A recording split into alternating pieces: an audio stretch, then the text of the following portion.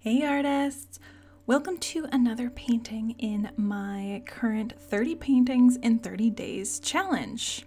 We are on the fifth one and I am still loving the process so far, which is awesome because there's still so many to go.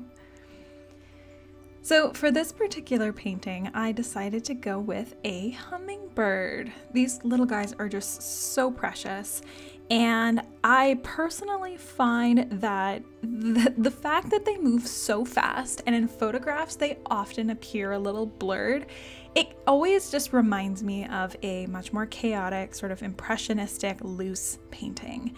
And for that reason, I thought they'd be very appropriate to use for this kind of series because I definitely am getting a little more abstract and impressionistic and just generally loose with my painting for these uh, for this challenge because I've got 30 of them to do in 30 days. So I can't afford to, you know, spend eight hours on one painting every single day and, you know, pack in tons of detail. So, yeah, I'm gonna get a little loose with it. And this is one of the ones I found I allowed myself to get even more loose with.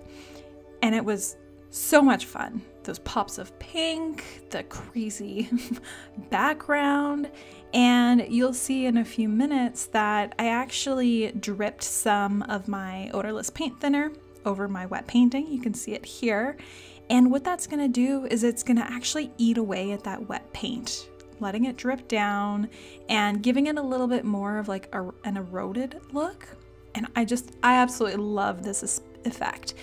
And especially if you're working with oils and you use your odorless paint thinner as opposed to if you're working with like acrylics and water, I find that because the paint thinner is actually breaking down that paint below it, like water typically wouldn't, it creates an even cooler effect. So I absolutely love using this with oils, and I really embraced it with this particular so with all of these pieces that I'm going to be doing in this 30 paintings in 30 days challenge is I am allowing them a couple days to dry in between. And the reason why is because I really want to be able to push the colors, push the saturation, the shadows, the chaos, frankly. I want to be able to push that even more by using glazes. And you can't use glazes over a wet painting. So I always make these make sure these are dry and then I have fun with some glazes and just generally push your boundaries and explore with them.